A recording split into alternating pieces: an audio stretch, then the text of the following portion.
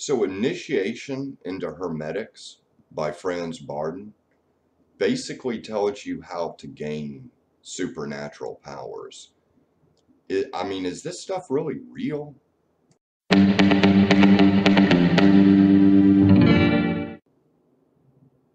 So I first discovered Franz Bardon's initiation into Hermetics about five years ago. And before that, uh, I'd been into mysticism a good long while, and I'd explored different religions, and I even ended up living in a silent Benedictine monastery for a while.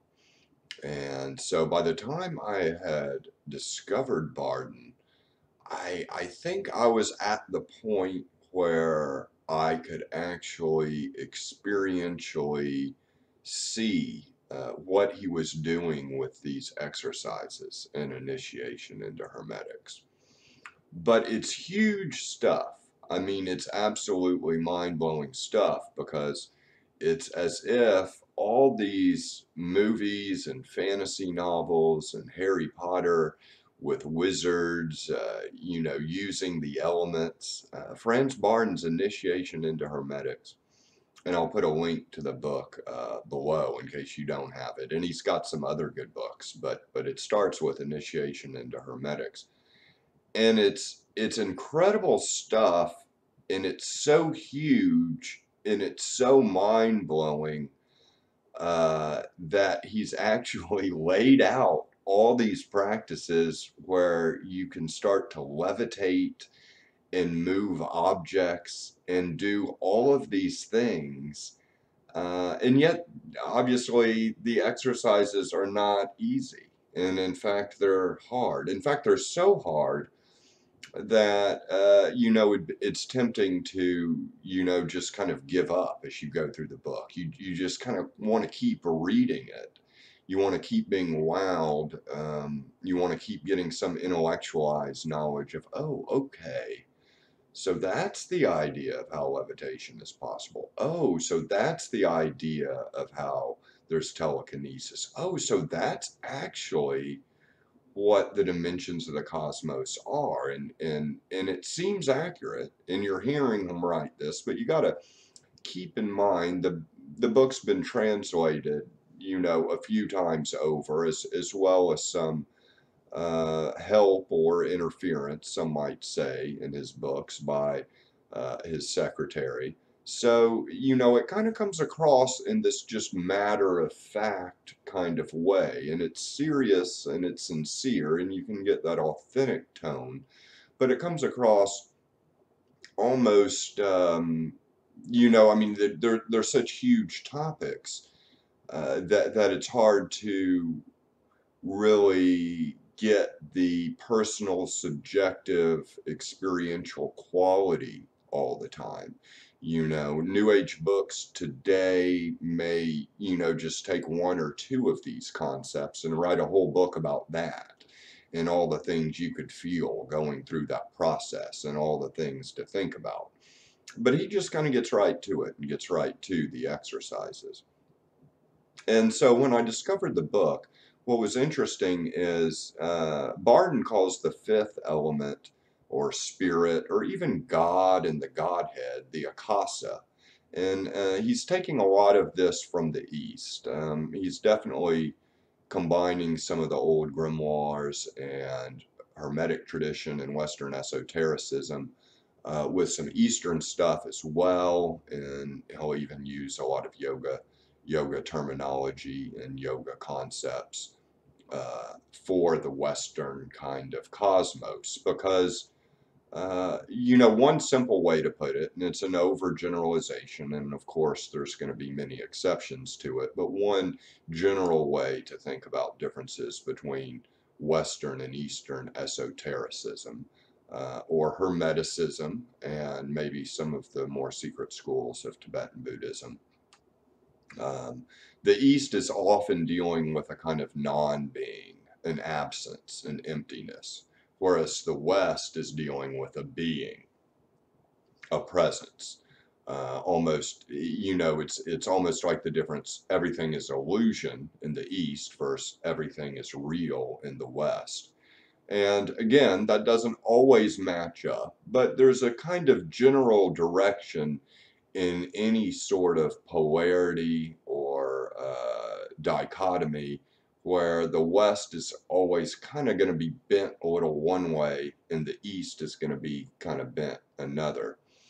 But anyway, when, when I was at the monastery, uh, a lot of the presence there seemed to be all the Godhead, you know, literally, the Trinity.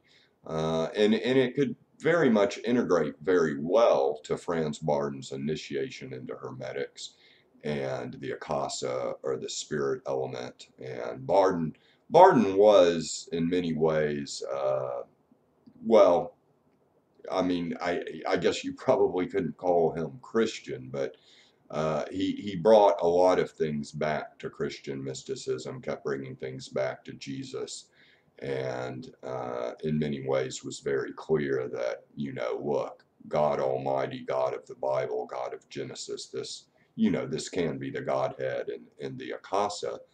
And that is the fifth element. Uh, then, then comes down to fire. And the light, I guess, comes from the fire or from Akasa coming into the fire and the water at the same time comes almost in on an opposite pole it comes down. So you kind of have fire and water and then the mediating principle between fire and water is air. And then those three kind of all um, combine and start to form uh, the earth which is your physical body and just the material world we know. And and yet these elements uh, are all basically going along with the law of correspondence or analogy. So, you know, obviously physical fire, we know what it is, but what is the fire of the psyche? What is the fire of the astral plane? Uh, well, it's analogous to physical fire, but obviously it's not that physical fire. It's it's astral fire or psychic fire. And I guess by the time I'd read Bardon, I kind of realized that, you know, at a certain point of relaxation and opening of consciousness and allowing, uh, you know, just getting completely unrepressed, allowing emotions to flow, it, you know, it starts, the emotions all start to kind of blend into themselves. And you almost feel like maybe they're even blending into the outer world. And then you get people, you know, New Agers or metaphysicians talking about energy. You know, it's all energy, it's all vibes. And, you know, that could sound flaky to some, but it's kind of true, I think, once uh, your your sense of kinesthetics and consciousness and awareness uh, gains a certain sense of flexibility and fluidity where there is kind of a flow between inner and outer.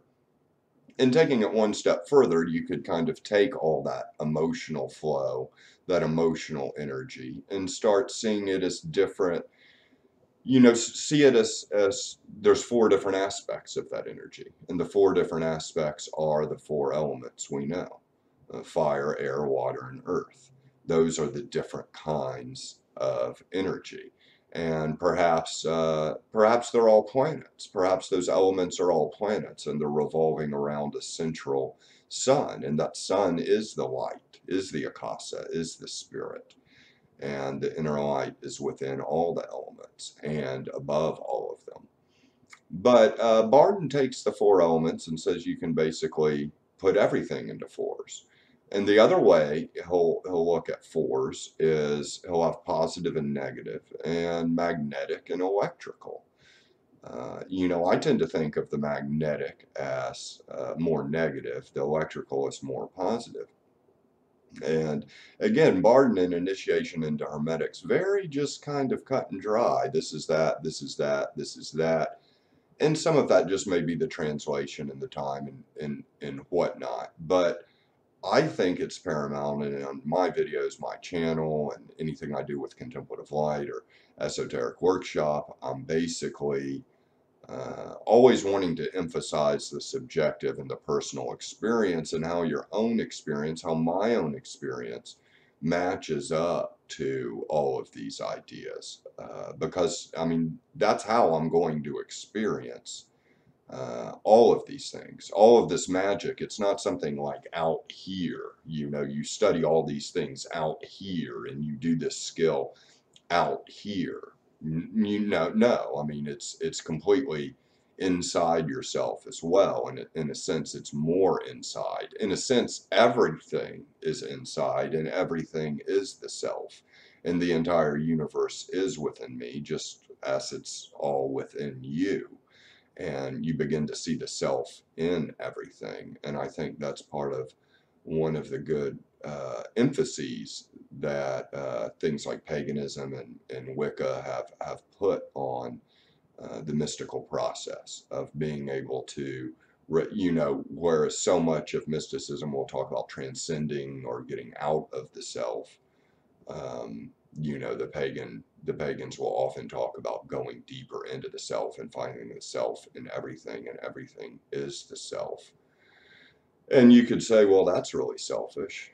And, and, and in that sense, it, it would be, but it'd be okay you know? I mean it'd be okay because all those other people they're part of you too. They're part of yourself. So you know there's certainly not anything malicious. And i've got another video where i talk about monism and how everything kind of fits together into everything else but anyways with franz bardon and initiation into hermetics it's yeah it's wild. It's wild to think you can start working with the elements.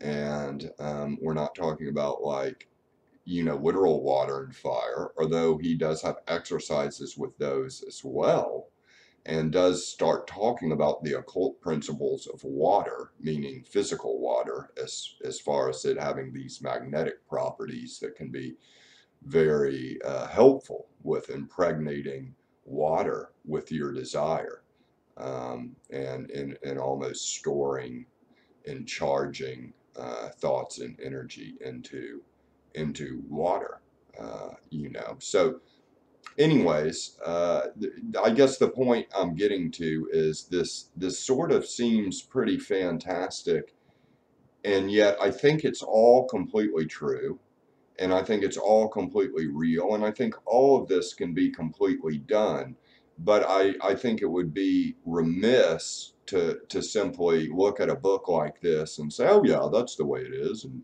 Bardon thinks that, and Bardon thinks that, and oh, every everybody who's read books on magic knows that. You know, it's like, really? Because I don't see anybody levitating. I don't see anybody really levitating.